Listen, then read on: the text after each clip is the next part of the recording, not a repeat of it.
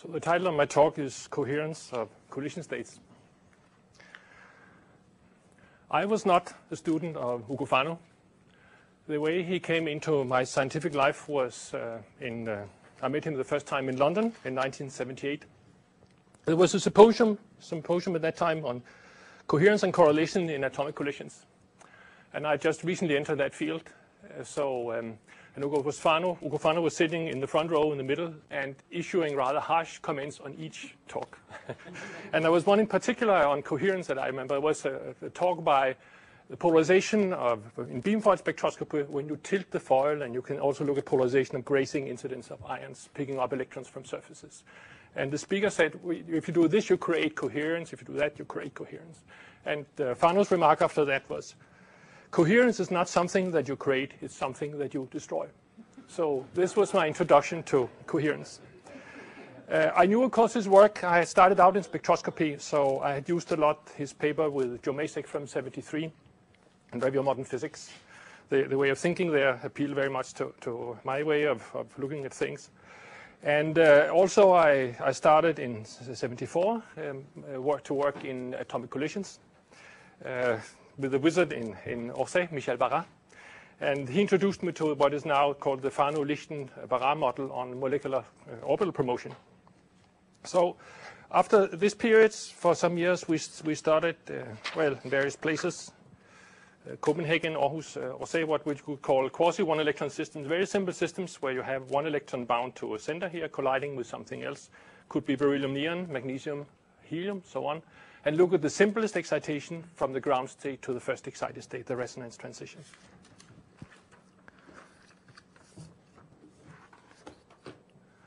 But um, where we really started to uh, interact uh, was uh, an effect of in, in 1983. I was um, a year a JILA visiting fellow uh, working with Keith Burnett on collisional redistribution of light in thermal collisions. So I found that fascinating that you can only excite the atoms if you have the photon. There's not sufficient energy, of course, in the thermal collisions to have excitation. So uh, we played a lot with that. And there I met Gene Gallagher, and at that time also Ingolf Hertel was a visiting fellow. So they asked me whether I wanted to collaborate with Ingolf on a review on alignment and orientation and outer shell excitation. I should do the heavy particles. Ingolf should do the electron atom stuff. I knew nothing about that. And that seemed to be somewhat in a mess, so uh, there was a need for a cleanup. And so he asked me whether I would like to do that, and I said no. I came to do something else, uh, so I would not do a review of uh, sort of what I had done in the past. So they said, perhaps you can come back next summer, 84. And so we made the plan, and thought, yeah, perhaps we should do that. So we said it was this year would be about 60 pages, and we would take a year, perhaps two summers, to do that. That turned out to be a big mistake. But the way we, we did this was so I, I went back to, to, Copenhagen. I did my experiments there in Copenhagen, in Aarhus, and in, in working with various people. Then I went back to JILA for two times two weeks or one month per year, uh, trying to organize the, the data, uh, interacting with the various groups. They, it turned out that they were all using their own language. So we decided we need a common language. We want to translate everything into that language to see if we can see some kind of systematics. And then uh, Ugo Fano was very interested in this, so I had it was sort of my duty uh, going back, not to go straight back to Copenhagen, but to go make a stop, take the first plane in the morning to Chicago. The, the um, plane to Copenhagen is in the evening, 23 o'clock, so we had a day there to talk. So uh, I sort of had to pass a test every time on the way back to report on what we were doing and what the progress was. So that was uh, turned out to be very interesting. In JILA, I worked, uh, we're starting with Ingolf Hertel, that was on the, the beginning, laying the framework, uh, working on electrons. Later on with Eleanor Campbell to do the same thing with the heavy particles. And most recently uh, with Klaus Bartschat to see what happens if also if you introduce uh, spin, have spin polarized beams. So Ugo in uh, Chicago, also there I met for the first time Emil Sittke and actually several people here in the audience I met for the first time in, in Ugo's office. And then the people back home in, in, in Europe, Sven Erik Nielsen in Copenhagen, Torkel Andersen in Aarhus in particular, and Daniel Dowek in, in Orsay. Now, as I said, it was a big mistake. We were off by about a factor of 10. um, they came out in three reports in physics uh, reports. The first one in 1988, that was mainly with Ingolf Hertel. about 200 pages. The next one was in, came out perhaps too late, uh, but we were doing many other things with Eleanor in 1997, also close to 200 pages. The, the slim volume is only, I think it's 150 pages with Klaus Bartschat. And that took time because the, the field that we had planned to review virtually did not exist, at least not the conceptual framework we had to create more or less from scratch in, in, to a large extent. Um, some of it is, is, still a mess, so what we did was, uh, sort of after sort of the encouragement by, by Gordon Drake, we wrote a book that came out last year on polarization, alignment, and orientation in atomic collisions where we spend the first 100 pages on sort of laying the framework, density matrices, spin polarization, and so on. The next 100 pages on showcases, what can you learn from electron-atom collisions. Next 100 pages on heavy particle collisions. A couple of um, sort of things related phenomena, but then we have at the end, because this is a very smooth, we think, presentation and everything, this is very easy and obvious. So we took the key papers from the previous 50 years, from 1925 up to 1975, that is stopping 25 years before the modern development, to take the key papers to show the tortuous way that the, where these ideas had developed with uh, Oppenheimer, Penney, Bethe, and so on during the time, uh, Percival Seaton, uh, Fano Macek, etc.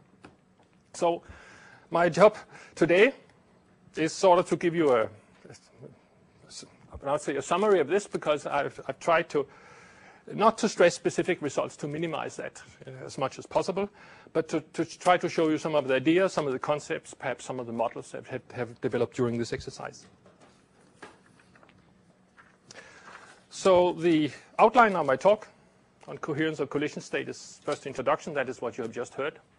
Then briefly the framework on what people call complete experiments, angular correlations, uh, Stokes parameters, density matrices, useful parameters, then shows some cases of what came out of this, the, the, what's called propensity rules. That's a word I learned, as you will see, from one of Ugo Fano's papers.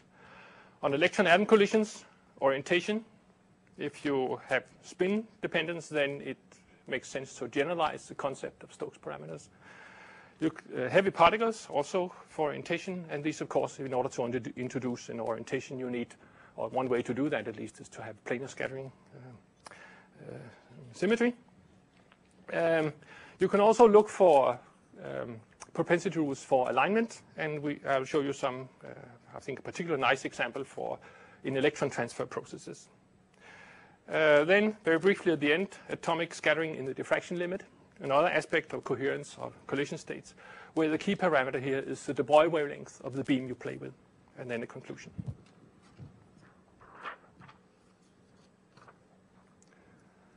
So framework,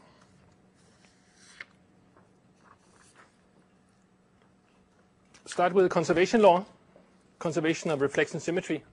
When you have a collision, then the reflection, uh, you have a conservation reflection symmetry of, uh, with respect to the collision plane for the whole system, the, the target plus the, the uh, projectile.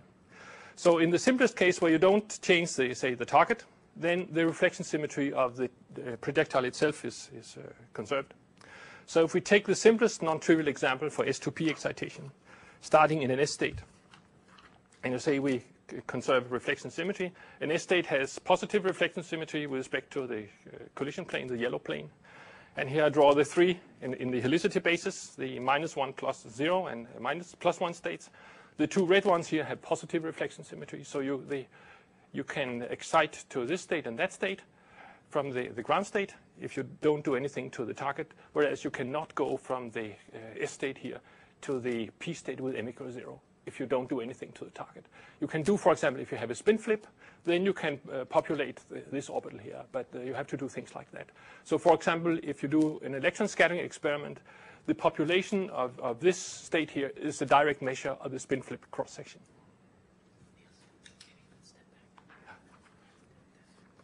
Okay. This a bit.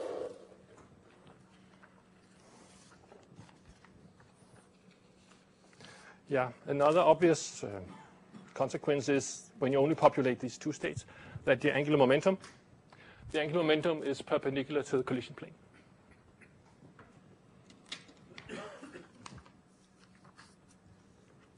A brief uh, reminder of what you learned in, in uh, uh, optical or the photon emission, di electric dipole radiation from p states. So when this, uh, I draw here a p state, here's the picture. Here's the top view if you look from the z-axis, from the direction perpendicular to the uh, collision plane. Now you can do uh, essentially two things. One thing is you can place your detector in the collision plane and measure the angular distribution as function of the angle with, say, the x-plane. Then you see an intensity distribution like this. So what you get is exactly the shape of the orbital rotated by 90 degrees. So you have a minimum excitation in the direction of the dipole. So this is a correlation experiment. With, you do correlation measurement between the scattered particle and the emitted photon, which is useful for if you do, say, UV photons. A slightly more powerful method is to look uh, from the direction perpendicular to the collision plane through a polarizer, if that's available for that wavelength, and to measure the, lin the, linear polarization, the circular polarization. In this case, you only have linear polarization. So this is kind of coherence analysis. You analyze the coherence properties of the emitted light. Now, a pure P orbital is a bit boring if you add angular momentum. So that is you excite also the component uh, in this direction here, perpendicular to the main axis. Then you, this corresponds to having angular momentum. But again, if you measure the angular uh, distribution, you get the shape of the uh, charge cloud. Uh, it, whereas if you measure, if you map out the polarization ellipse from the direction perpendicular to the beam, you will get um, also the angular momentum.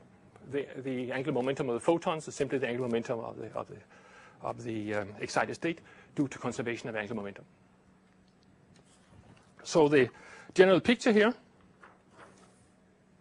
if you have uh, an excited p state, is you can get uh, its shape by an angular correlation measurement, and you can get uh, the also its angular momentum by by mapping the polarization ellipse, that is the three Stokes parameters, in the direction perpendicular to the plane. So the parameter you get out here, the, the, the, degree of linear polarization, gives directly the shape here, so it's a kind of shape parameter. The gamma angle here gives the alignment of the, your, your orbital with respect to the, say, the beam axis. And over here, the, the two linear Stokes parameters and circular polarization. The third one, the angular momentum, is, except for the sign, depending on your sign convention, the, the um, expectation value of the angular momentum perpendicular to the collision plane.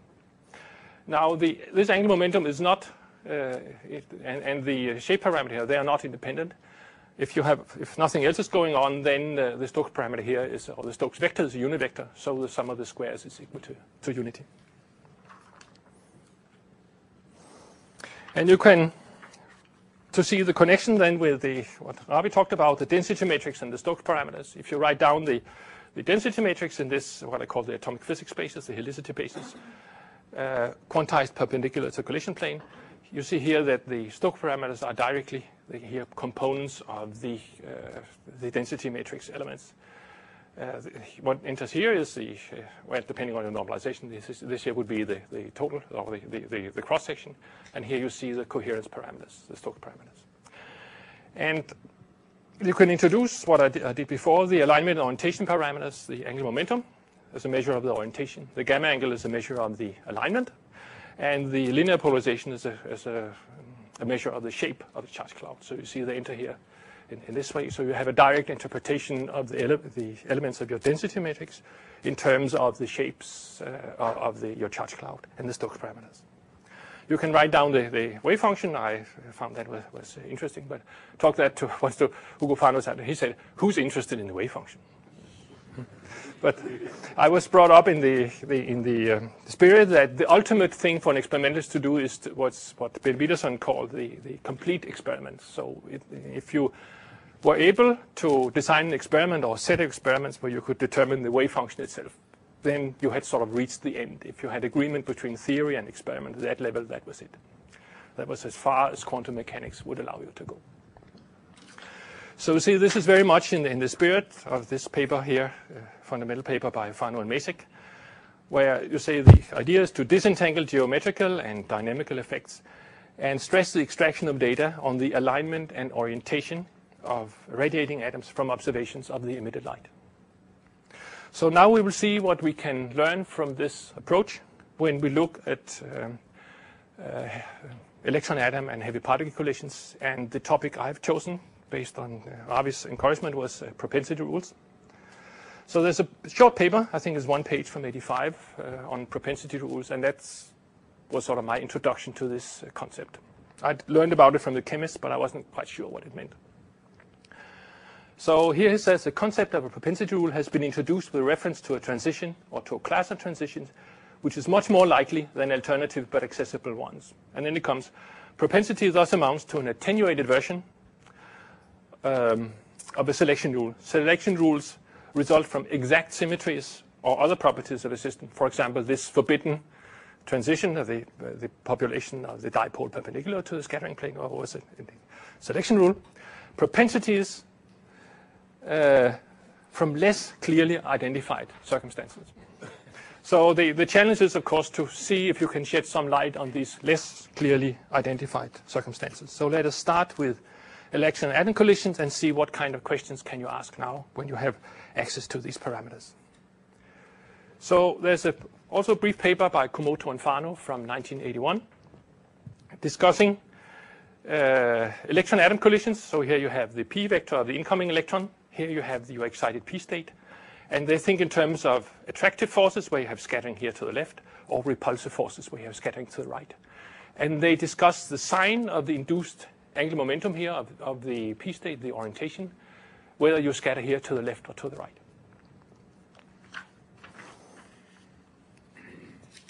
Now, if you think of an S2P excitation in the simplest case, use the first Born. So here's the, the uh, k vectors, the incoming k vector, the outgoing k vector, the momentum transfer vector. Then in the first Born, you just give the electron a kick, so that is you create a p orbital along the direction of momentum transfer. So such an orbital has zero angular momentum, and you can, from geometry here, calculate easily the uh, alignment angle. And I'll show you an uh, example for helium excitation. 80 eV electron impact energy, and the energy defect for the 2p excitation, the simplest non-trivial one, is 21 electron volts. So uh, this here is the angular momentum, and this here is the alignment for 0 to 180 degrees. So first Born gives 0 here, and the gamma angle in the first Born is the green line, calculated in the way I showed you before. Now, if you look at the experimental points, now, there are also lots of theories, but this is sort of a generic curve. You have a positive angular momentum for small scattering angles. And then at larger scattering angles, many other things appear. This here is particularly simple. You see a fully oriented state here, almost. And then uh, you have a change of sign, and then it, the electron goes uh, uh, the other way around. And here's the gamma angle. This is very interesting. I don't have time to talk uh, in more detail about this or, or, what the models are. But it gives you the feel for your way, way of thinking. And Ingolf Hertel was intrigued by the fact that uh, it seems that there's a propensity rule that at small scattering angles, you always get a positive orientation for the S2P excitation. So he made a small semi, semi-classical model of this. I don't have time to go through the uh, of the arguments with you, but it's very simple. The bottom line is that that you you really get this this uh, orientation here as you would uh, expect or as you see ex experimentally. But also another consequence of the way, same way of thinking is that you, you if you use positrons, then you see the opposite orientation for small scattering angles. So that is the orientation will change sign when you change the sign of the projectile for electron impact. Uh, many more people thought about this. I think the first uh, paper discussing really this change here was by Madison and Winters in, in 81. Uh, there's an interesting, and, and they showed that um, uh, the uh, orientation would really change sign. There's an interesting paper from 89 by Chii-Dong Lin uh, and collaborators where they not only play with electrons and positrons and look at its, scaling here, they also compare with proton and anti-proton impact excitation of atomic hydrogen and helium. Now, there's a problem here for comparison because uh, what, is, what is the impact parameter for um, uh, electrons? But uh, Chii-Dong found a clever way of sort of making translation and base the scaling law on that. I don't have time to go through that, but that is, uh, uh, you can find a discussion in, in, in, the, in our book. But there's one interesting um, consequence that I will spend a little more time on. If you change the sign of delta E, that is, you go from excitation to de-excitation of state, then also the prediction is that the induced angular momentum should change sign. Taking some time before there's been uh, sort of analysis or more work done on this. There was a recent paper in, in 98 from Brisbane doing experiments. They start from the 3p state, and then they can interpret their results from the time inverse state, the 3s to 3p, and they see this sign of orientation, though the energy is a little bit too high for this um, argument to work. For de-excitation, they see the opposite sign. And there was a recent analysis by Klaus Bartschat doing the theory to, to show that this is indeed the case. But it has not been proven sort of in, as, a, as, a, general thing. Similarly, there's the recent uh, results from Peter Zetner for the barium case, also excitation, de-excitation do the same thing. But it's still an empirical um, uh, propensity rule, and you can find exceptions.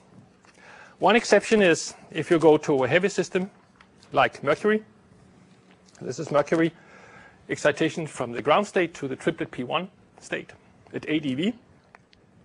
If you use unpolarized electrons, you see the um, the um, orientation as you would expect from the propensity rule. But if you uh, do the spin resolved experiment, which has been done theory and, and theoretically and experimentally, then you see for uh, if you have spin up electrons and you scatter here to the left, then you see the orientation that you would expect from the propensity rule.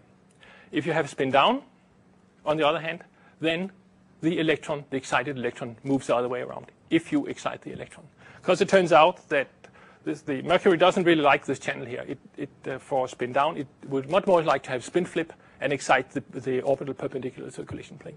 So this is a less likely channel than that, and that means that when you add the two, have the unpolarized beams, then you get the you reproduce the usual propensity rule. But if you go into details, you see other things like that. So it's an empirical propensity rule, but you may find exceptions. Let me see. Yeah, let me say one sentence. What happens if you go uh, and you start to look at um, uh, spin polarization? Here's again the, the, the, collision plane, and you can make Stokes parameter analysis in various directions. But now you can also play with spin direction, spin up and down, and you can have in-plane spin forward or sideways.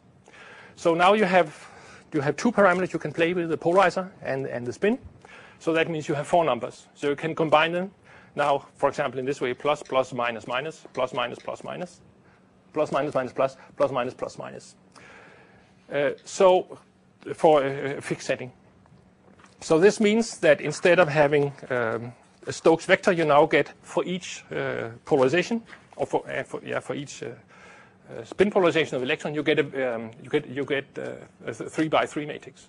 So you get a 3 by 3 matrix for each spin, spin polarization, and you get it for, e for each direction. And it's very easy, or reasonably easy, to make um, a, an analysis of this problem to see where, from which directions, which measurements will give you the same information, where can you get new information, and where can you get consistency checks of the results you al already have uh, obtained. This is a very useful thing for, well, for also assessing things. You get a different sort of perspective on people's error bars when you try to make these uh, consistency checks that they were not aware of before they published. But also, as an experimentalist as I am, you, now you can analyze where should you drill, drill holes in your vacuum chamber in order to get maximum information out of your experiment. So, so much for, general, for generalized Stokes parameters. Um, yeah, five minutes. Okay. Heavy particle. Collisions, measuring. Helicity, the helicity of the photons emitted perpendicular to collision plane. If you do that for the one electron systems at near the maximum of excitation, you see a huge difference in the number of photons with uh, orientation following the rotation of the internuclear axis than you see in the opposite direction. This is true near the excitation maximum. You can find ex exceptions to this. So this means again that we have a propensity rule. You can go from here to there, here to there. This is forbidden, but this is highly favored at this particular velocity where you have maximum excitation. So what is the physics behind that?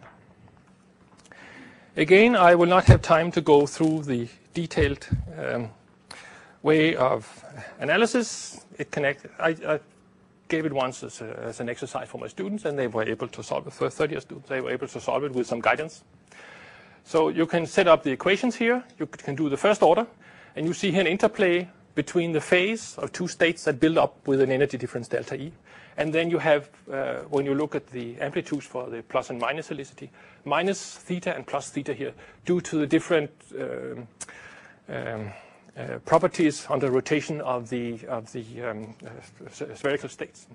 So it's very easy to see then if you pick your velocity so that this uh, term here changes by pi during a collision. Then, since the internuclear axis rotates by pi during the collision, these two, you can get these two to to cancel each other, so you have a kind of stationary phase. That's, yeah, it looks like the, the Massey criterion. So when you pick your velocity uh, um, uh, from this criterion here, you have the maximum probability, and all the probability goes into the uh, helices state with, with minus 1.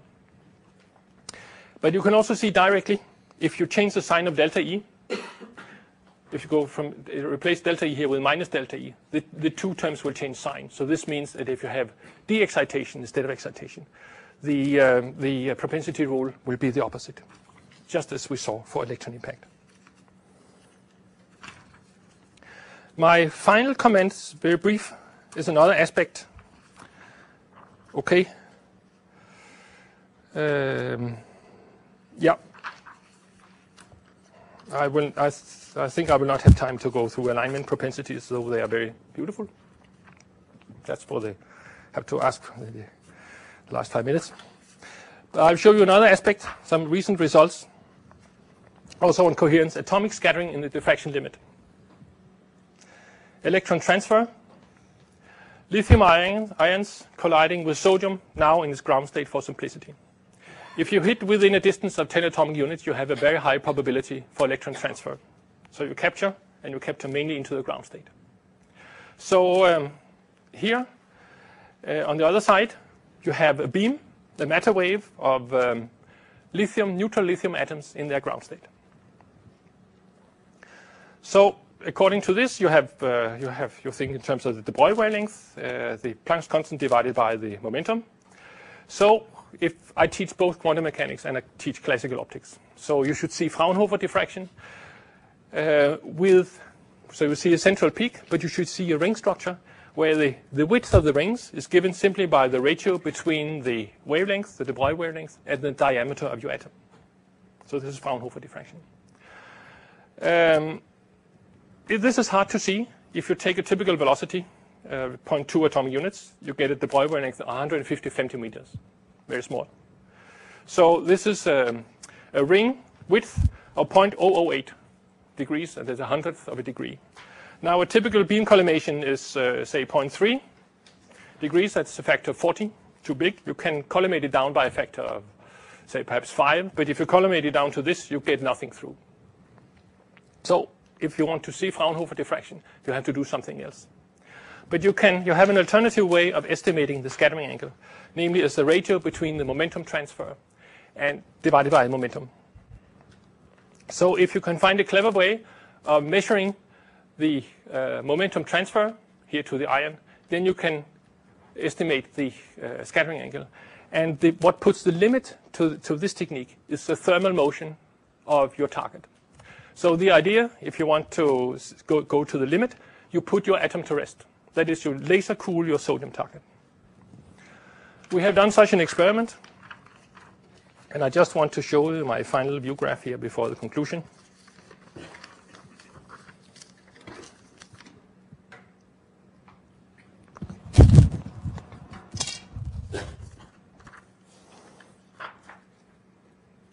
Let's, let's put this in the right spot. Yeah. So here at the bottom, you see the momentum transfer for two velocities, 0.4 and 0.15 atomic units. You can translate this to uh, scattering angles. Uh, so you see here, for a de Broglie wavelength of 75 uh, Fermi, you see the central peak, but you begin to see the first ring here shows up. You go down to, you increase the de Broglie wavelength to 100 Fermi, you see the ring more clearly, 150 Fermi, 200 Fermi, 225 Fermi. Here you see it very clearly. So this is Fraunhofer diffraction of, of uh, matter waves measured uh, from the from the recall ion. So this is another manifestation of the coherence of uh, collision states. So my conclusion of, of this is that studies of the coherence of collision states is expressed in terms of the alignment and orientation parameters using the framework outlined by the Fano school, yield insight into the collision dynamics that goes far beyond what you can get out of traditional cross-section uh, studies alone.